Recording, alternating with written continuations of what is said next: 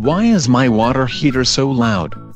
If you hear the sound of rushing water, you need to go looking for the stream ruining your floor. I do not see water on the floor. If you hear bubbling and whistling, I'd look to see if there's a leak through the pressure relief valve. If there was a leak in the pressure relief valve, my next sound would be screaming for someone to call a plumber. It can have a pinhole rust hole and leak through that, so you just get steam and minor bubbling, which does not necessarily mean it is going to explode. The American Society of Mechanical Engineers started with the premise of designing boilers and water heaters that did not explode, making massive messes and occasionally kill people. If your hot water heater exploded, at least you'd only have one loud noise, the warning buzzer, before it blew up. I do not think that's what I'm hearing.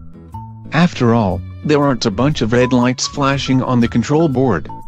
Hot water heater drip tubes didn't work and were taken out in the 1990s. I do not think the unit is old enough for that. But what is that? They were plastic tubes that were supposed to direct cold water to heating elements to use less energy, but they'd corrode and break. And sometimes end up with plastic pieces stuck in the water pipes, rattling and clogging things. You could have water dripping through a rusted out hole in the tank, and hear the noise as it drips and maybe percolating bubbles as air rises through it too. I heard there were other things that could cause pings, bings and other things. If there's too much sediment in the hot water heater, you could hear bubbling and boiling as it overheats the water. Why would sediment make it make all that noise?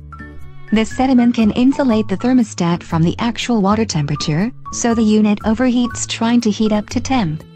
And as it overheats, you get water boiling up through the sediment, making more noise than standard water heating. My next question would be what you do about that.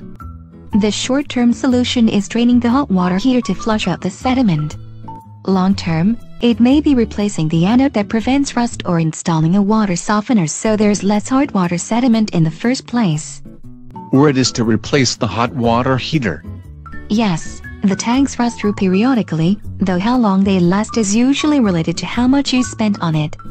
All I know is that a new one costs more than I'd like.